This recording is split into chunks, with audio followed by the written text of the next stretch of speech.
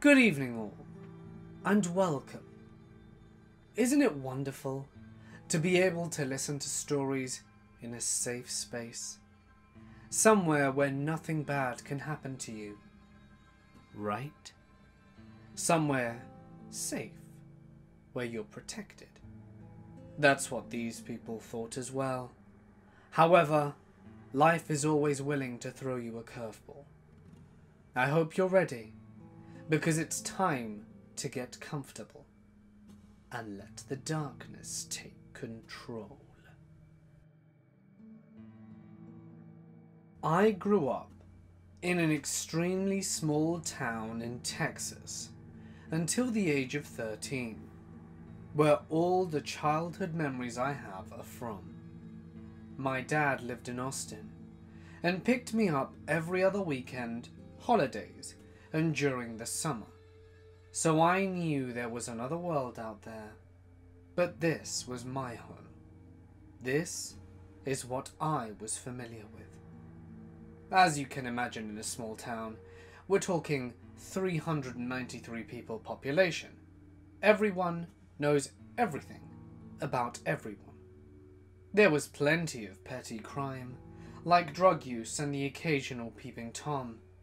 But that person was known to the public by everyone in the town, and they soon left after the event. You got away with nothing if someone else knew about it. Let me mention, because this small town was surrounded by larger towns, we were hardly even considered a school district. K 12th grade in one school, barely 1A, and if you're from Texas, you know what I mean.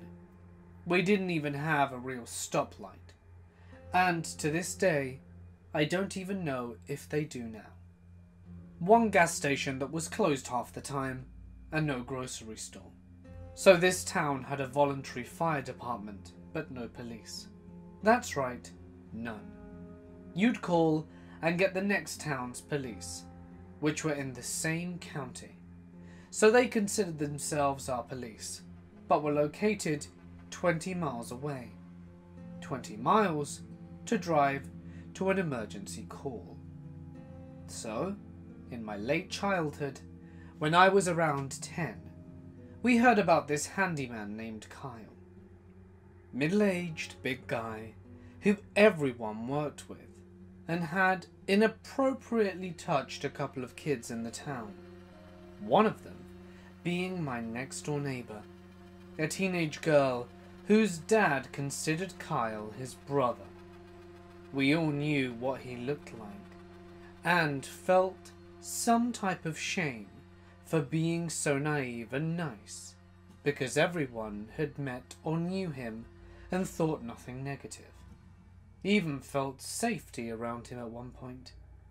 Those two occasions happened over a year's time, and we hadn't seen him around since the news came out and the kids came forward. He creeped us out, and every adult in town shunned him. Adios, Kyle. So flash forward three years. I am in sixth grade, and one of my schoolmates' parents have asked my mother if their two daughters can stay on a school night, because they had to go to court very early in the morning and needed to prepare. It was no problem, as my mum was a single parent and very understanding. My mum is a very sweet and understanding person, with hardly any boundaries, because she's so understanding, which gets her into trouble but is also very nice to have in a parent. We played outside in the neighbourhood most of the day, and came back to set up my room for three beds, and my mum would be getting dinner ready. When we got back, we noticed my mum seemed like she was going somewhere and had left to come back, which was unusual because there really wasn't anywhere to go. But then I noticed she was drunk, heavily drunk. How long had we been gone? The sun just went down, maybe two hours. A little backstory. My mum is tiny, five foot one, 120 pounds. She never drank in my childhood, and when she did, it was extremely noticeable. Glassy eyes, slurring, wandering eyes, anger, lying, making no sense. But I could only name a handful of times that happened, and when it did, she had one beer. Any time I saw her with this beer, I would get mad because I knew she wouldn't be normal. She rarely did this, so I remember almost every tantrum I threw. That's why this wasted behaviour made no sense to me, because I knew it was the alcohol. I was immediately embarrassed. My poor friends had to see this mess. I herded them straight to my room, where we got ready for our school day the next morning and tucked ourselves in without any dinner. I knew they must be hungry. So I sat there wide awake, thinking about what we could make the next morning to make up for it. The only light in the room was glowing from the doorframe that faced the kitchen. I guessed my mum must be in there. We'd all heard she was shuffling around. Then my friend shook my leg. She said, Zoe, did you hear that man? I lay there frozen. Worry hit the pit of my stomach, and I quickly remembered that I hadn't heard my mother in over an hour. Had she left after we arrived? Did she drive her car that drunk? Is she back? I listened closely, ears ringing from being so alert. Then I heard a woman's laugh trying to be quiet, but obviously failing like a teenage girl sneaking around the house from her parents. Yep, it was my mum. But the male's voice who came after is what threw a lump in my throat. It was so familiar, and I listened even closer. Then, the next sentence I heard sent my full body into a tingle. My head went hot, and I could even hear my heartbeat. I even felt it in my ears. The man said, So there's three of them there? She's having a sleepover?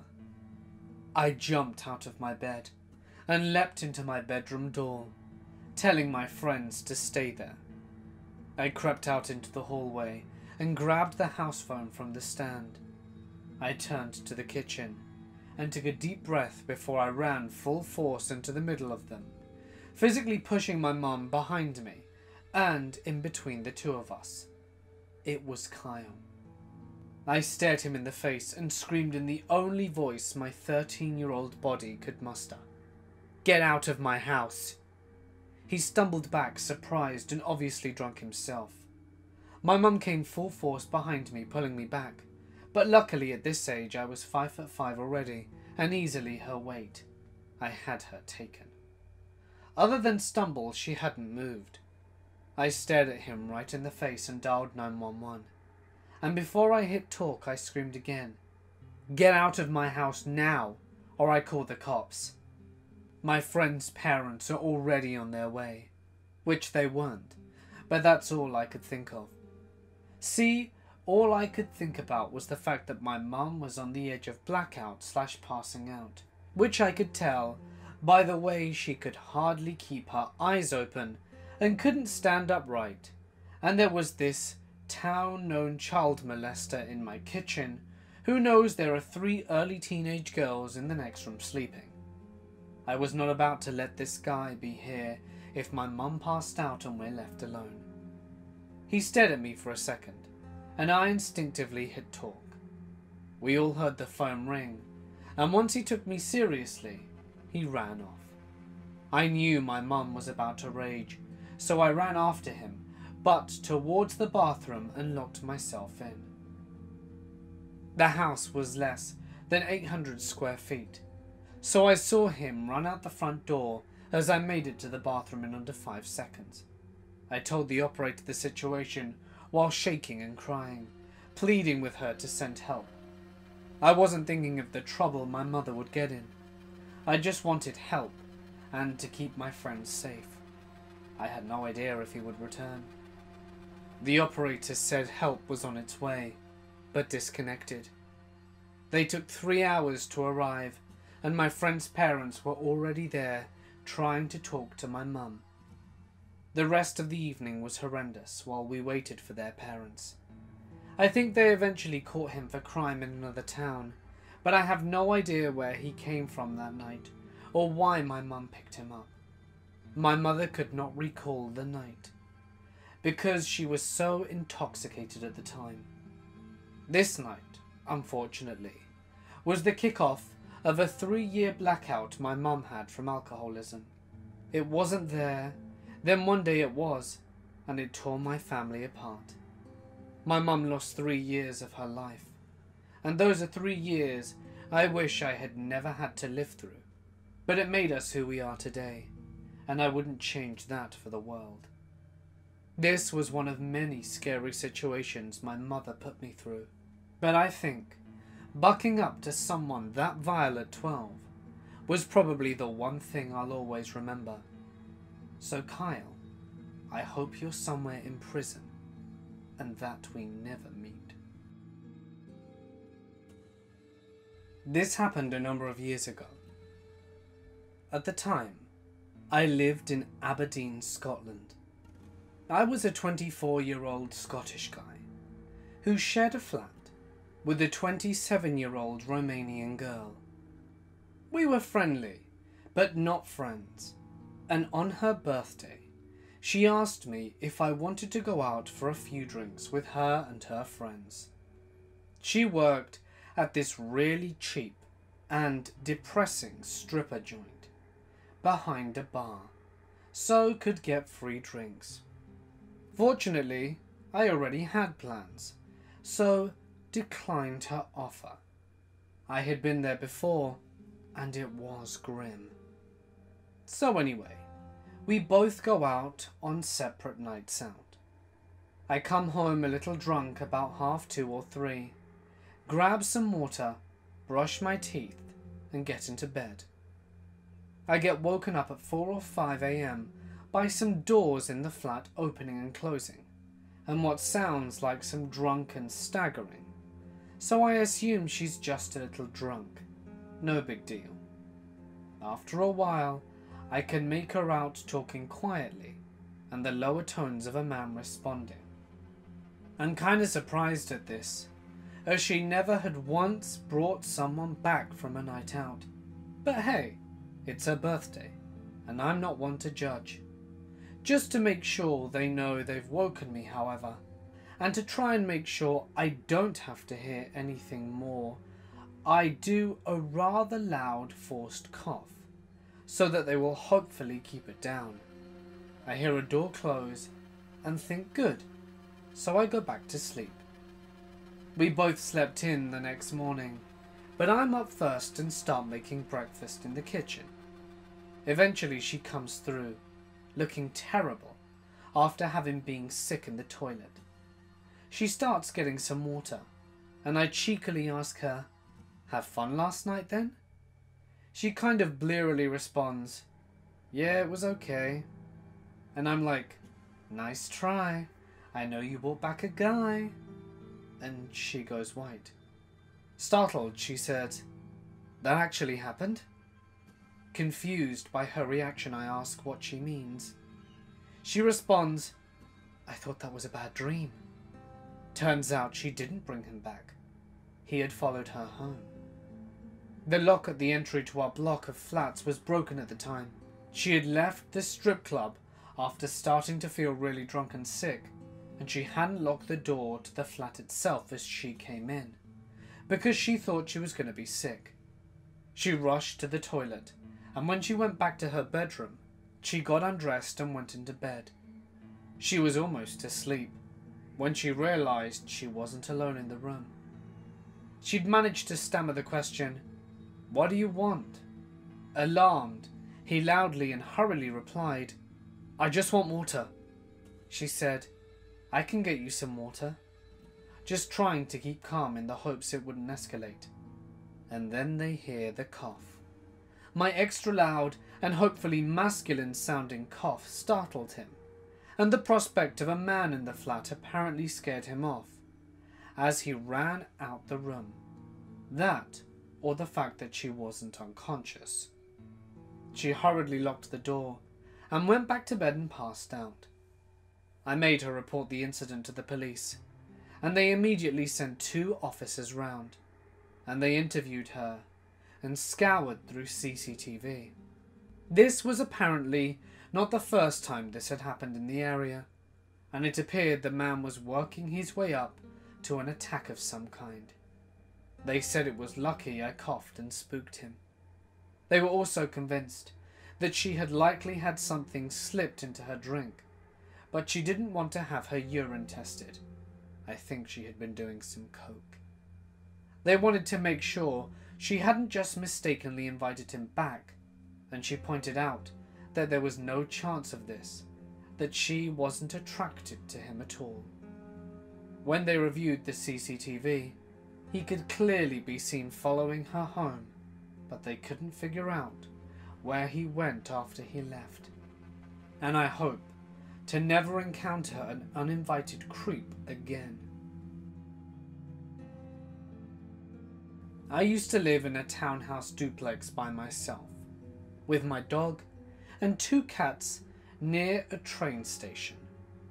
There were often commuters who would park outside my place and pass by throughout the day and night. Occasionally I had cigarettes or stuff stolen from my front veranda. I even had my next door neighbour's ex-boyfriend come to my door telling me he had a hitman after him with a gun. But none of this scared me, like the night I was watched. My dog lives indoors, and I would take him out just to pee before bed.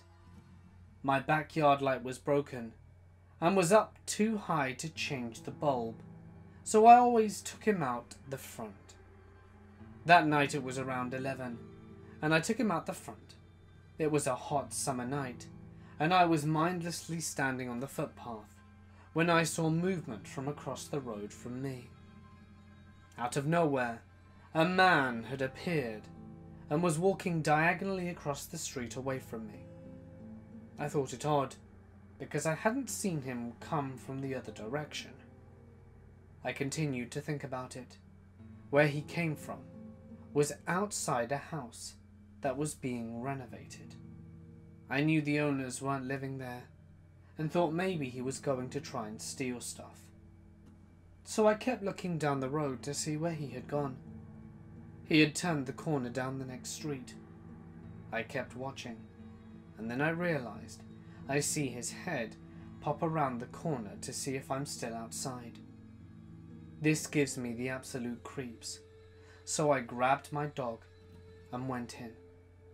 I turned off all the lights and went upstairs to my bedroom, which was at the front of the townhouse and faces the street. I thought I would keep watch of my neighbour's house and call the police if he came back. I peer through my blinds, which cover sliding doors coming off a small balcony, and like clockwork, I see a dark figure walk down from the corner and down my street. He's moving towards the house across the road, and then I suddenly lose sight of him. A tree in front of my townhouse obscures my view for a moment, and then he's there. He's not just there. He has stopped in front of my driveway, standing there like Jason Voorhees. I kid you not. His arms were out by his sides and legs apart in an unnatural stance, like he was prepping for something, like he wanted to kill me. My heart is racing so hard I can barely hear. And I'm standing there, slack jawed, looking at this would be assailant, when one of my cats comes to see what's happening. My cat slides his body between the blinds and windows, further opening it to see this person, this man, looking towards me. I'm thinking he surely sees me, and if he does, this doesn't stop him. He starts walking down my driveway, undeterred and fixated. I lose sight of him under the balcony and awning. By this time, my eyes are watering in fear and tears and streaming down my face. I don't know what to do. I go sit on my bed. I picked up my mobile and dialed my dad, who lives a suburb away. He answers, and I whisper to him what was happening, and he says he'll be there as soon as he can. I lie down in my bed and lie as still as possible, tears rolling down my cheeks. Pure fear, not knowing what this man was doing downstairs and if he could get in. What if I hadn't have locked the doors? And then it dawned on me. Why am I lying here in the dark crying? Turn a light on. So I did. What seemed like a lifetime but was probably just a couple of minutes later, my dad arrived. He had an umbrella with him. I live in Australia, so no guns, but he could have at least brought a knife. I stayed on the phone with Dad while he searched outside, but the man was gone. Maybe me turning the light on scared him. I called the police, who said I should have called sooner. Of course I should have. I don't know why I didn't. They came out with a sniffer dog, but couldn't find him either. I don't know what he wanted, but for a good year after that, I was so scared living there, and I'm still a scaredy cat. But hearing other stories makes me realize I'm not alone, and we can all learn from these experiences, so we know what to do if something scary happens. I had recently moved from Adelaide to Melbourne to live with my boyfriend, now husband, in a sharehouse unit with one of his friends and his girlfriend, Nikita. My boyfriend and his friend were at work, whilst Nikita and I were home.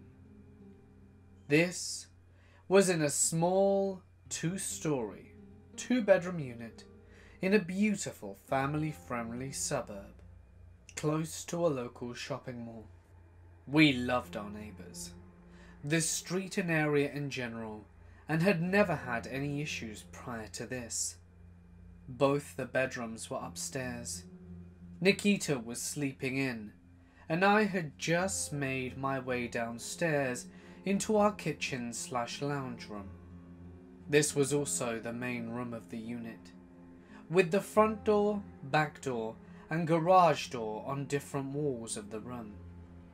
It happened at around 10 am. I can't explain how quickly the following events occurred, but it was all very sudden. I was standing at the sink, about to fill the kettle, when I heard the garage door open. My first thought was that it must be Nikita in the garage. We smoked out there and not in the house, so I walked around the fridge to greet her. No more than two meters in front of me was a man rushing into the room. He yelled, What's going on? We later laughed at this, saying that we should have asked him that. As I had a split second to process what was happening and register his face before turning and running for my best escape route, which in my mind was the stairs, the front door was closer, but deadbolted, and Nikita was upstairs. There was no way I'd leave her there. I ran as fast as I could, almost tripping over myself and the steps as my legs felt like concrete jelly, if you can imagine that. As I reached the top of the stairs and Nikita's bedroom door, I burst into her room slammed the door and leant against it, chest heaving, and yelled for her to wake up. Nikita, where's your phone? Wake up! There's a man in the house! I half screamed, half cried. She sat up groggily, asking, What? There's a man in the house. Where's your phone? Her eyes widened in terror as she saw me against the door. It had no lock. I heard nothing and figured we could make it to the bathroom, which had a lock, opposite from her room. The bathroom! Now! We didn't even question it. We just threw her door open and dashed into the next room. As I dialed the police, we heard heavy footsteps coming up from the wooden stairs. By now, we were both hysterical. I was begging the operator to send someone immediately, as the guy was coming to find us. He must have heard us on the phone to the cops, because after a pause, we heard hurried thumping down the steps again. The cops were there within two minutes, as they were only three streets away. We heard sirens, and the operator told us the police were there and that it was safe to come out. They didn't find the guy. I gave a full description as best I could from the glimpse I caught, and was later asked to go to the police station in order to help construct an image to identify him. He was not much taller than I, perhaps five foot four, mid forties, bald in the middle, with shaved hair around the sides of his head, wire framed glasses, stubby goatee, and dark, beady eyes. Fleecy zip neck sweater, but I didn't get a good look at his pants. The scariest details came later. We realized the guy hadn't stolen anything. There was easily accessible items which he could have taken in a hurry. Laptop, phone, which was closer to him than me when he entered, and nothing taken from the garage.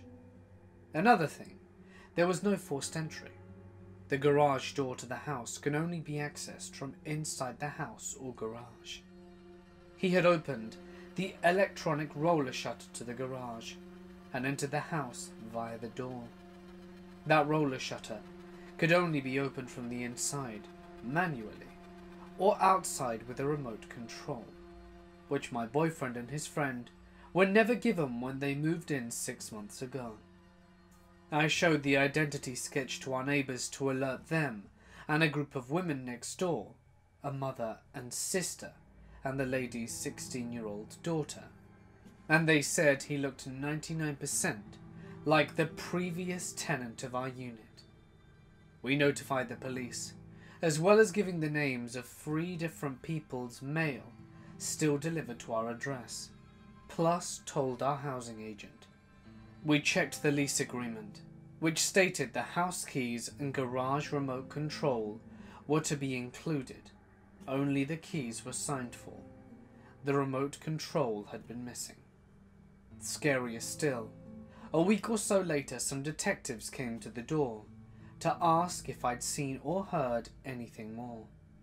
I told them no. They handed me their car and left. I learnt that they were investigating about sexual predators. I feel sick knowing that. I told Nikita and our neighbours, and we all kept a close eye on things, but nothing more came of it, thankfully. I just wonder if they ever found the guy before he threatened anyone else. This happened a few weeks ago. I recently graduated from college with a degree in biology, but decided to take a minute for myself before applying for medical school. My school was in a dangerous area and I still rent in the area because my roommate is a master's student at the same university. We live about five blocks off campus, on a street where you wouldn't want to be caught alone at night. One day, I was by myself in our apartment, jamming to some tunes, and I heard banging on the door. This was odd, because my apartment is in a row home style with two other apartments below me, and a front door, which I had most certainly locked behind me when I entered the building about ten minutes prior. It was also concerning because I'm a five foot tall woman and currently alone. Since we live on the top floor, nobody but my roommate and I ever go up to the third floor, and I have not recently subbed a maintenance request I turned the music off and sat still for a moment. The banging started once more. Now I recognized that this was stupid, but I walked to the front door and opened it, and see in the tiniest crack a large, dirty, heavy-set man with a beard on the other side. I asked, Can I help you? He looked me in the eye and said, I'm here to fix the air conditioning leak. You need to let me inside the unit so I can make the repairs. My management company only has one regular maintenance worker who I was familiar with, and I'd never seen the man standing at my door previously. He took a step forward and I quickly said, Wrong place, and slammed and locked the door.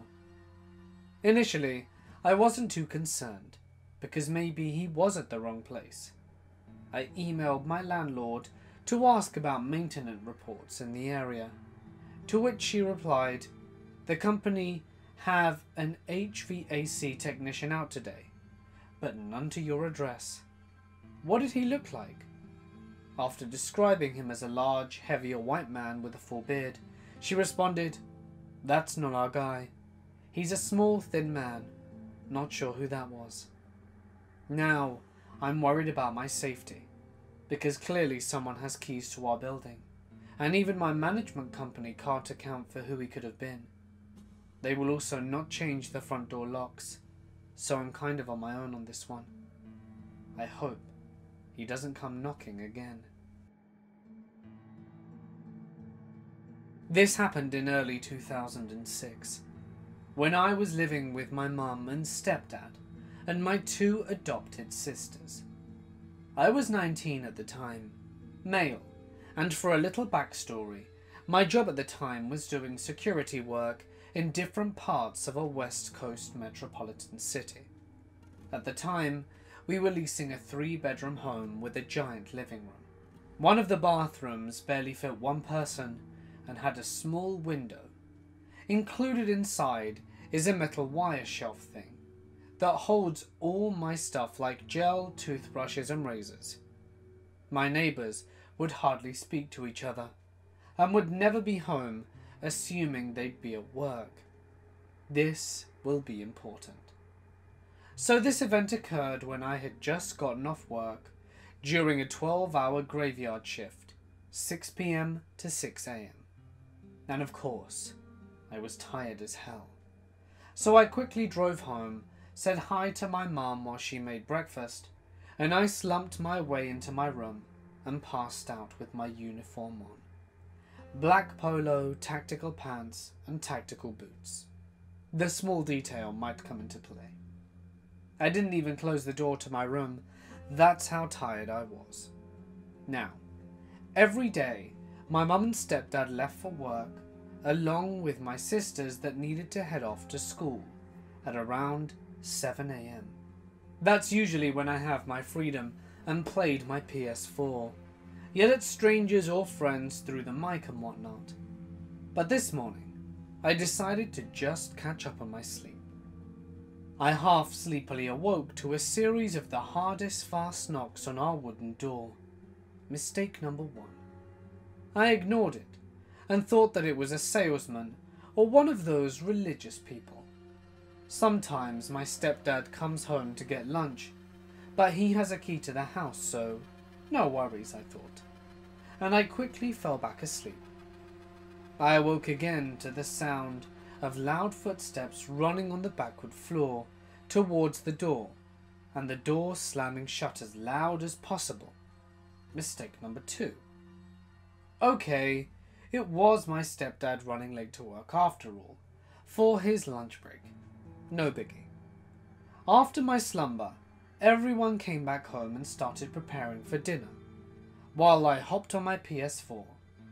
And my mum comes to me with a very serious face and says, Did someone break into the house? Did you leave any time today? No. Why? I was just sleeping until everyone came back. Okay, come look at this. My mum takes me to the little bathroom from the earlier description. I look up at the little window. Cold air breezing through a broken frame and broken hinges. I look at the metal wire shelf, and there was a dent on the top, as if someone had bent it while climbing in. I felt my spine tingle, as that hadn't really hit me at the moment. I thought back to what I heard while I was asleep. I heard someone knocking earlier, and I heard stepdad come to get something before leaving to work in a rush and slamming the door, I said. my mum said, Mijo, stepdad didn't go to the house today. My throat clenched and dropped to my stomach. My fingertips felt as if they had been frozen. I felt as if my body was sinking down into a deep, dark abyss in the ocean. I couldn't say anything. We stared at each other for an eternity. We started checking the whole house to see if anything had been taken. Nothing. Everything was as is. We asked a few neighbours if they had seen anything, but they weren't home. We gave the local PD a tip just to let them know, and they already had knowledge of this. The person is still out there. My mind kept racing. What happened? Why wasn't anything taken? Why did this mystery burglar decide to run off? We came to the conclusion that this person knocked first to see if anyone was home. But seeing as I didn't answer, they did their duty and stepped into our house. And since I snore really loud, this person might have thought that there was a dog inside the house. Another possibility would be that this person saw someone in uniform and didn't want to mess with me, or just simply the fact that I was in the house. There were many possibilities that could have unfolded. It's clear what this burglar intentions were just to grab everything valuable and leave. But what if this was a maniac stepping into my house with other intentions other than theft? The thought of someone watching me sleep from about five feet away gets me so anxious no matter where I am. This event made me realize that no matter who you are, you will always be vulnerable when you aren't alert of your surroundings. Now I'm a 5 foot 11 guy, and I'm an average built dude. It's safe to say, I would have held my own against someone trying to break in along with my plethora of bludgeoning and bladed weapons. But even if you're armed to the teeth, you'll never know when someone will be watching you and planning something ill-mannered. There are things and people out there that have been shielded away from most of us especially in this day and age. You'll never know who you walk past down the street. I am now 22 and married, with a one-year-old son and daughter on the way.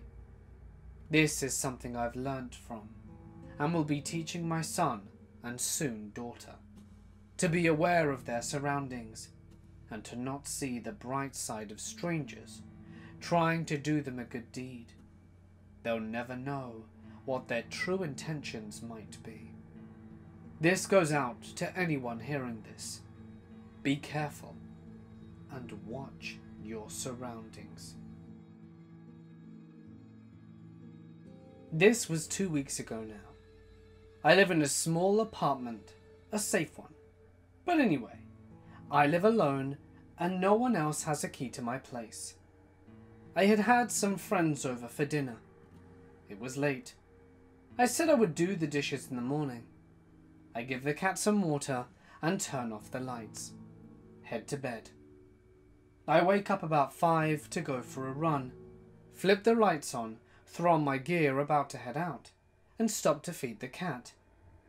Then I notice my trash can is about 10 feet from its regular spot, which I thought was odd.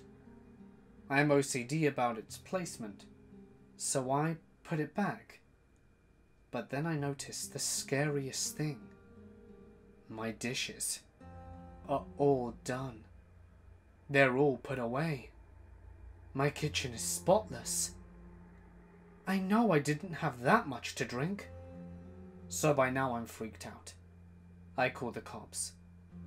The guys show up and ask what's wrong. I tell them everything. They're just as shocked as I am. No signs of forced entry or anything. The only difference was my kitchen had been cleaned as I slept, and I go to my best friend's apartment while they investigate. They turn up nothing. I'm crapping my pants upon returning to my apartment. I have no clue what to think. I don't believe in the supernatural. But when this happens, small thoughts become big ones. So I truly believed that something supernatural was haunting me for giggles. But an hour later, my neighbour knocks on the door and asks why the cops showed up. I tell her the story. She laughs and tells me she got drunk and googled how to lockpick, practiced on my door, and then did all my dishes as compensation. I asked her how hard it was to lockpick the door, because it can't be easy. And she tells me this was the tenth time she had tried lockpicking my door, and this time was the first time she'd been successful. But she was drunk every single time. I was just haunted by a drunk woman who was bored. Hey guys, it's Mort here, and thank you so much for listening. First off, I want to say thank you for all the lovely messages of get well soon and to look after my wife in yesterday's community comment thing. I don't even know what it's called. Community post? The community post, let's just call it that. Thank you for everyone who commented. It really was lovely to, to read and to see what, what you guys had to say. And you're right. Uh, we had a good early night and Pandora and my wife both, both, both went to bed.